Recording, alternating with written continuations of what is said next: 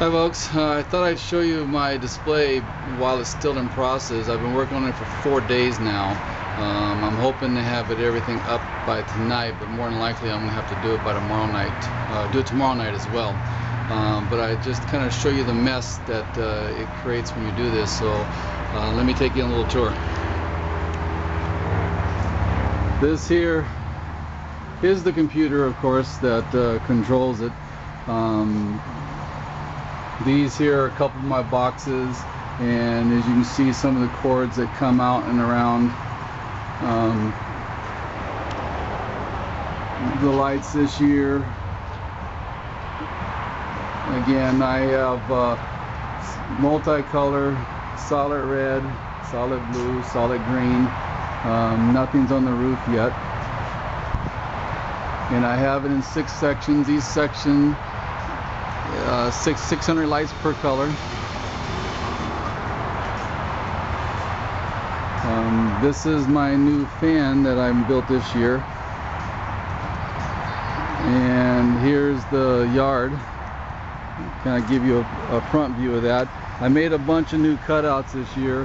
Uh, I got Cinderella and her little mouse. Um, over here I have Ariel. Now she's not new. I made her a couple years ago, but you can see there's Ariel and Scuttles. And here is Snow White and the Seven Dwarfs, as you can see there. And back there behind the ladder is um, Sleeping Beauty and her the fairies that help her. This is Mickey and Minnie and Pluto. Jasmine is new this year. Um, Belle and Beast and uh, Lumiere and Cogsworth, Mr. and Mrs. Potts, Chip, Santa and Mrs. Santa, and Snoopy. These are the arches that I'm going to do this year. LEDs, the little trees, LED, you know, or regular lights, and uh, of course I didn't, I forgot Tigger back there.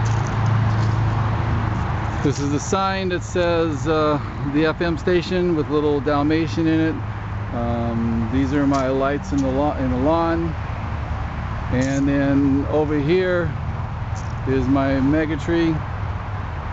This year I have all LEDs, uh, whites, uh, and then there's red, blue, and green. And hopefully I'll get some videos of this later once I get everything. I also have um, some flashers in there so that's new for this year but I thought you might like to see the some of the stuff that goes through in making these things. Snowflakes in there. Um, this year I'm putting high voltage warnings so people don't try to go in the yards. And then I have uh, these floodlights here to light up the characters So anyway, so there's the garage in shambles as everything was coming down.